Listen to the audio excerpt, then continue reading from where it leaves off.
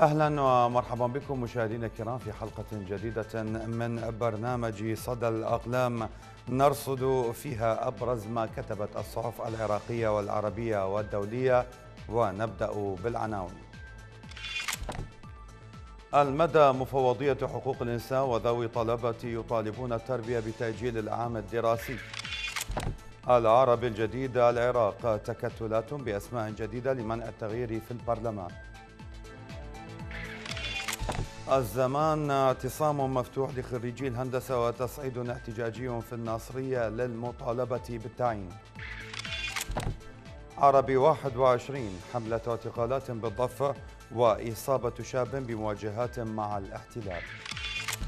العرب اللندنية اختطاف السجاد العراقي يكشف تورط ميليشيا بدر في مواجهة الانتفاضة. القدس العربي كورونا مخاوف من 200 وفاة يوميا في بريطانيا وتداعيات مدمرة على النازحين. سي إن إن الصين تعترف بتراجع عدد المسلمين.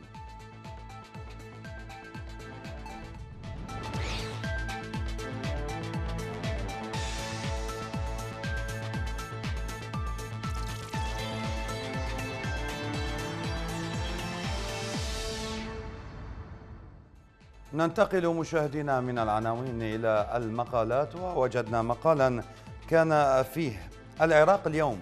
فيه حشد مقدس وميليشيات معصومة ووطن مستباح. كان هذا المقال للكاتب مثنى عبد الله في صحيفة القدس العربي وجاء في متنه منذ عام 2003 وحتى اليوم. كانت وما زالت المعادلة السياسية في العراق قائمة على عدم وجود قداسة للوطن ولا أولوية له ولا حتى تعريف واضح لمعنى الوطن. في مناهج الأحزاب الحاكمة أيام المعارضة وبعد الاستيلاء على السلطة وبعد الغزو توضح أكثر عدم وجود معنى للوطن لدى هؤلاء من خلال الممارسة السياسية. لذلك ساعة يقولون إنهم يؤمنون بالأممية الإسلامية وأن لا حدود وطنية كي يبرروا التدخلات الإيرانية في العراق وعمالتهم لها. وتارة يشبهون العراق بأنه مجموعة بقع طائفية وإثنية. جرى لصقها ببعض من دون وجود روابط اجتماعية وتاريخية. إن الاستباحة التي تعرض لها العراق أرضا وشعبا ومياها وسماء لا يمكن أن تكون بلا ثمن ملزم أن يدفعه كل طاغ داخلي أو خارجي. صحيح أن من استباحوا وسهلوا للآخرين الاستباحة. هم اليوم في السلطة وقوى تحمي السلطة ويستطيعون أن يملأوا هذا الوطن بالخدع والوهم. لكن الحقيقة لا تزال هي العراق الذي يحدث فيه كل ذلك وهو الشاهد عليهم. يقينا هنالك كذبة دولية كبيرة منذ عام 2003 وحتى اليوم تسير على أرض الواقع. وهنالك ملايين من الأكاذيب الصغيرة تطفو على السطح كل يوم لتجميل هذه الكذبة الكبيرة ومحاولة تنظيفها. وقد أدرك البعض مبكرا مغزاها وبعضهم تأخر في إدراكها لكن من لم يدركها حتى اليوم لا يعني ذلك أنها مجرد هراء صحيح هنالك رغبة دولية وإقليمية في تجاهل الحقائق في العراق لأن اللهب بات كبيرا في ساحات أخرى. مع ذلك فإن الحقائق ليست سريعة فقدان الصلاحية. كما أن السعي لإعادة إحياء الهوية الوطنية بعيدا عن الأفكار الطائفية ما زالت جارية في ساحات بغداد والناصرية والبصرة وغيرها من المدن الثائرة. هنالك مكسب يصب في مصلحة الفكرة المدنية المواطنية يتشكل كل يوم في هذه الساحات. وهنالك إصرار على تحقيق إنسانية الإنسان في العراق وحقوقه فردا وجماعة. لقد ولى زمن كانت فيه الميليشيات هي المتحكمة بالشارع وهي التي تفرض إرادتها على الجميع. اليوم هناك شباب أصحاب مشروع للتغيير وليس للإصلاح وهم يدركون جيدا أن المستنقع الذي وقع فيه العراق لن ينفع معه التجفيف. ردم المستنقع هو الطريق الوحيد كي يتم إزال الستارة على مشهد العملية السياسية القائمة. وكان الشباب دائما يحملون راية الرفض لذلك قادوا فصولا تاريخية ومارسوا أدوارا بطولية. واليوم هدف الشباب العراقي هو بناء الدولة الوطنية الحديثة لأنهم يدركون أنها الحاضنة الرئيسية لحقوق المواطنة. كما يدركون أنه لا وجود لمواطنة في دولة غير وطنية.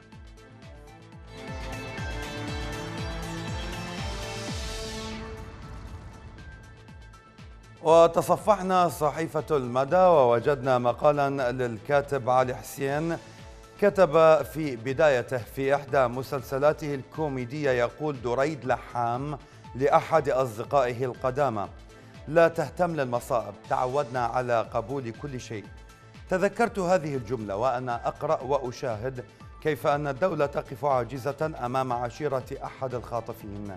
ولا تستطيع إطلاق سراح الناشط السجاد العراقي الذي اختطف بمدينة الناصرية رغم معرفتها هوية الخاطفين والمكان الذي يحتجزون فيه المخطوف. وضحكت على مصيبتنا وأنا أقرأ تصريحا لقائد شرطة الناصرية يقول فيه إن هناك مساع عشائرية تجري حاليا من قبل شيخ عشيرة الخاطف. لا أفهم كيف لدولة بها أكثر من مليون رجل أمن تعجز عن مواجهة عشيرة.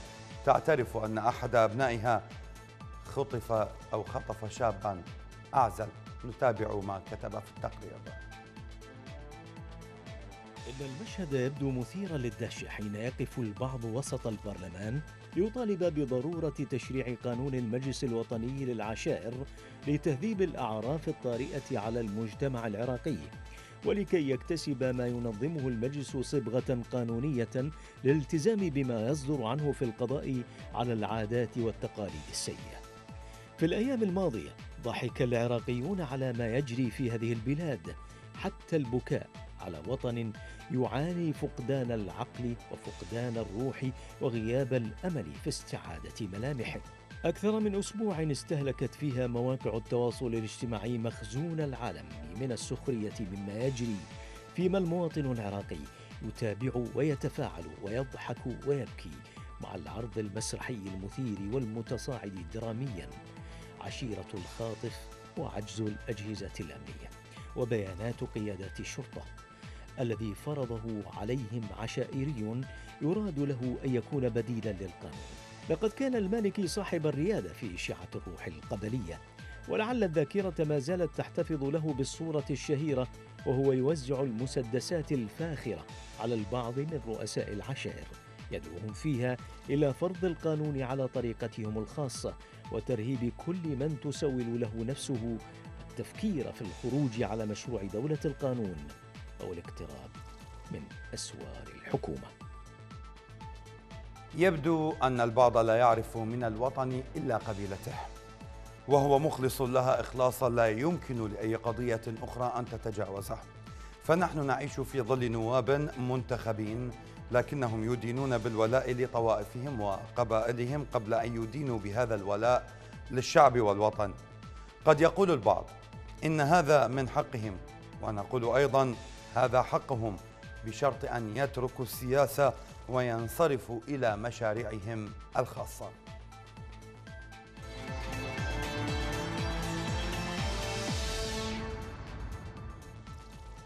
كما عودتنا الطبقة السياسية في تفضيل مصالحها الشخصية دائما على مصلحة البلد والمواطن تمت المصادقة على قانون موازنة عام 2020 من قبل الحكومة بعد مرور تسعة أشهر على موعدها المقرر.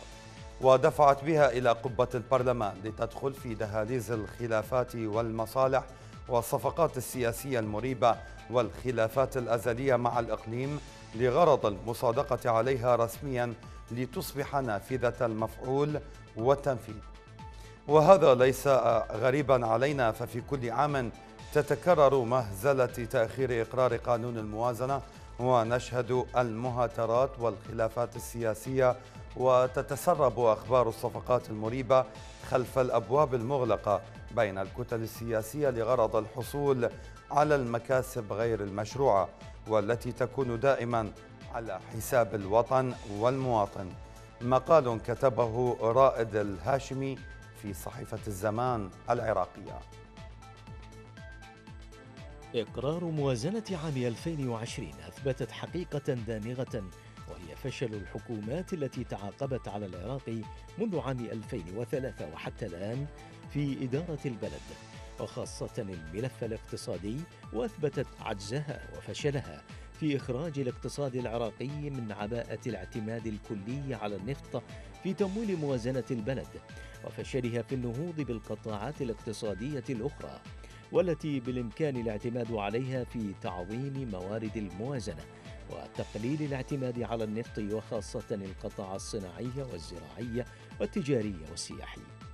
جاءت أرقام الموازنة مخيبة للآمال ومقلقة حيث بلغ حجم النفقات الكلية 148 تريليون دينار بينما بلغ حجم الواردات الكلية 67 تريليون دينار وبذلك أصبح العجز أكثر من 81 تريليون دينار وهو أعلى رقم بلغه العجز بتاريخ البلاد.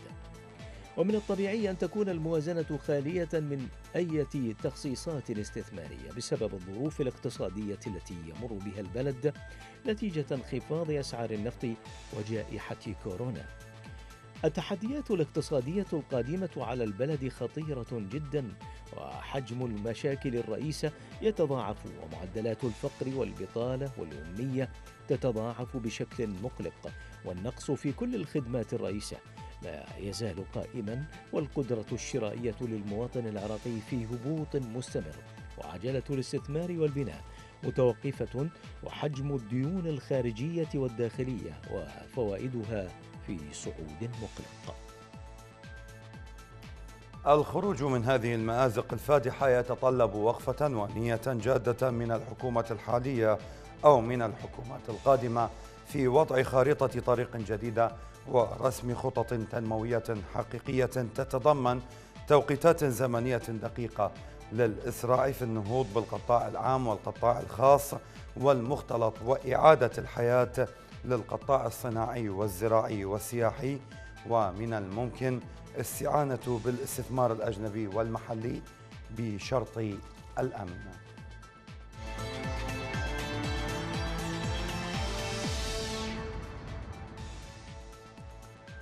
قراصنة التاريخ يواصلون ليلهم بنهارهم لتحقيق أوهام أنهم أو إنهاء الصراع الفلسطيني والعربي الصهيوني. يعتقد هؤلاء أن ضغوطهم الشديدة وإغراءاتهم لفصل الشعب الفلسطيني وقضيته عن بعدها العربي. سيفرض على القيادات الفلسطينية توسل العودة للتعاطي مع مشروع تصفية القضية الفلسطينية. واهم ترامب حين أعلن من على منصة الاحتفال التطبيعي أن الفلسطينيين سيأتون إلى طاولة المفاوضات. مقال كتبه طلال عوكل في صحيفة الأيام الفلسطينية. ثمة مراهنة أمريكية إسرائيلية وأدوار مرسومة لبعض الأنظمة العربية للضغط حتى تجويع الشعب الفلسطيني والتسليم بقبول سلام مقابل سلام وطعام. هو في الحقيقة سلام لإسرائيل واستسلام من قبل الفلسطيني والعربي. والأخطر أن يتحول إلى تحالفات إقليمية دولية لا يتوقف دورها على الضغط والحصار. لبعض الوقت ربما يشكو الفلسطيني من العزلة السياسية وانغلاق الكثير من الأبواب والنوافذ. لكنه بالتأكيد سيكون أكثر صلابة وأشد قوة في مواجهة ما يتعرض له بشرط أن يستفيد من الوقت المتاح للملمة صفوفه وإعادة بناء قوته وتجميع أوراقه. وسؤال الكبير ماذا ستفعل إسرائيل ومن معها وخلفها لشعب يصل تعداده إلى أكثر من 13 مليونا من البشر غير العاديين؟ مليونا فلسطيني أو أكثر قليلا يعيشون في غزة وهم جزء أصيل من الشعب الفلسطيني يملكون الخصائص ذاتها ويصلحون لأن يكونوا مجرد نموذج لقوة وتماسك الشعب الفلسطيني وإيمانه بقضيته. قبل سنوات كان البنك الدولي قد أصدر تقريرا قال فيه إن قطاع غزة لن يكون مكانا صالحا للحياة الآدمية. ولكن ها هم الناس يقتربون من توديع العام 2020 وهم يزدادون قوة وإرادة على تحمل الصعاب والمخاطر. من الواضح أن الخمسين يوما المتبقية على الانتخابات الأمريكية ستكون شديدة الخطورة. حيث ستكثف الإدارة الأمريكية ضغوطها على المزيد من الأنظمة العربية كي تلحق بركب التطبيع. إسرائيل مرتاحة. لا تفعل شيئا فثمة من يقوم بالدور نيابة عن ترامب ونيابة عن رئيس حكومة الاحتلال اللذين يواجهان أزمات ذاتية تتصل بوجودهما على رأسي الهرمين الأمريكي والصهيوني.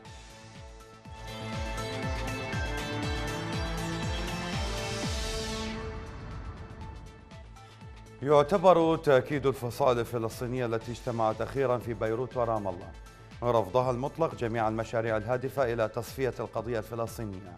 خطوة مهمة في الاتجاه الصحيح لكنها منقوصة. وتحتاج خطوات عملية لترسيخ قيادة فلسطينية موحدة واجتراح سبل كفاحية ممنهجة ومدروسة لمواجهة التحديات. وفي مقدمتها صفقة القرن بأبعادها المختلفة. جاء ذلك في مقال للكاتب نبيل السهلي في صحيفة العربي الجديد. ستكون وحدة الصف مقدمة أساسية لجمع القدرات الكامنة لدى الشعب في داخل فلسطين التاريخية والمهاجر القسرية لمواجهة التحديات التي تعصف بالقضية الفلسطينية. وفي المقدمة منها صفقة القرن والتطبيع العربي المتسارع مع إسرائيل وكذلك مواجهة النشاط الاستيطاني الإسرائيلي في الأراضي الفلسطينية والجدار العازل الذي يعد أكبر مشروع استيطاني منذ 48 وتسعمائة ألف ناهيك عن السياسات الإسرائيلية الرامية إلى إخراج فكرة يهودية الدولة إلى حيز الوجود من خلال إصدار رزمة من القوانين العنصرية الجائرة خلال العقد الأخير. ومن التحديات التي يواجهها الفلسطينيون بعد تعزيز المصالحة ضرورة العمل على فك الارتباط بالاقتصاد الإسرائيلي وإيجاد السبل للانطلاق لتنمية مستقلة تدفع باتجاه الحد من الأزمات الاقتصادية والاجتماعية الفلسطينية مثل البطالة. وقد يكون من باب أولى العمل على فتح أسواق عربية من شأنها الحد من الهيمنة الإسرائيلية على التجارة الخارجية للضفة الغربية. وقطاع غزة. يجب أو يمكن الجزم أن الخطوة التالية يجب أن تكون وضع الأساس لإنهاء الانقسام الفلسطيني والعمل بعد ذلك لترسيخ الوحدة الوطنية الفلسطينية والاتفاق على توجهات كفاحية مشتركة على كل الصعد حيث سقط الرهان على استمرار المفاوضات.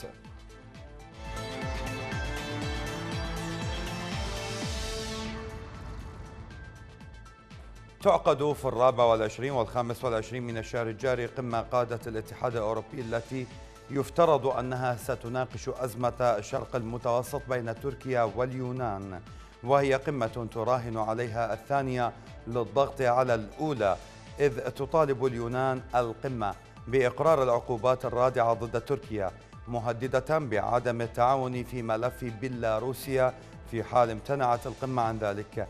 حول الموضوع كتب سعيد الحاج في موقع عربي 21 لا نتوقع أن تصدر عن القمة الأوروبية عقوبات كبيرة واضحة على تركيا. المرجح أكثر في نظرنا إضافة للتضامن مع اليونان هو تقديم الاتحاد مطالب واضحة من تركيا. في مقدمتها وقف أنشطة المسح والتنقيب وتهيئة الأجواء لحوار بناء مع اليونان. والتلويح بعقوبات إن رفضت أنقرة ذلك وهو كما يبدو موقف مبدئي قابل للتطوير لاحقا حسب المستجدات وخصوصا رد تركيا. قد يصدر كذلك عن القمة بعض العقوبات الخفيفة والهامشية لإرضاء اليونان وبعض الدول ذات المواقف المتشددة. لكن من الصعب جدا أن تتخطى هذه الحدود للاعتبارات سالفة الذكر. في الأقل لا يكون ذلك إن حصل منطقيا ومبررا فضلا عن أن يكون مفيدا. الأهم من كل ما سبق أن أي قرارات أو ضغوطات أو عقوبات من الاتحاد الأوروبي لن تؤدي إلى تغيير موقف تركيا التي تعد أزمة شرق المتوسط في صلب أمنها القومي وحقوقها في ثروات المتوسط. وهي حقوق غير قابلة للتنازل بالنسبة لها. بسحبها السفينة نحو الشاطئ قبيل انعقاد القمة تكون أنقرة قد رمت الكرة في ملعب الاتحاد الأوروبي. ومن المستبعد ألا يلتقط الأخير هذه الإشارة خصوصا بعدما تراجعت حدة التوتر في المنطقة بشكل ملموس على إثر اللقاءات الفنية التي جمعت الطرفين بدعوة من الناتو. تقديرات كثيرة توقع صدور عقوبات كبيرة ضد تركيا استجابة للرغبة اليونانية. ويفسرون قرار أنقرة الأخير بسحب سفينة عروج رئيس للشاطئ كمناورة لتخفيف حدة العقوبات عليها بينما يراها آخرون بادرة حسن نية قبيل القمة.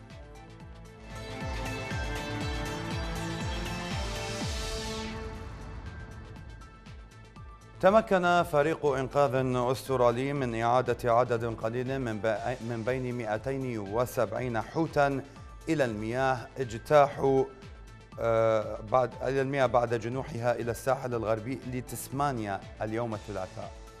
ونفق نحو ثلث الحيتان قبل بدء جهود الإنقاذ صباح اليوم. لكن فريق الإنقاذ حقق بعض النجاح في المحاولات المبكرة لإعادة الحيتان المتبقية إلى المياه. وتم نشر فريق إنقاذ من خبراء الحفاظ على الحياة البحرية يوم الاثنين في ميناء ماكواري المنعزل لمساعدة الحيتان وهي من فصيلة الحوت الطيار. وتعد الحيتان الطيارة من بين الأنواع الأكثر انخراطا في الجنوح الجماعي في تسمانيا. ووفقا لبرنامج حماية الحياة البحرية التابع للوزارة فإن تسمانيا هي الولاية الأسترالية الوحيدة التي تحدث فيها حالات جنوح جماعي للحيتان والدلافين وبشكل متكرر.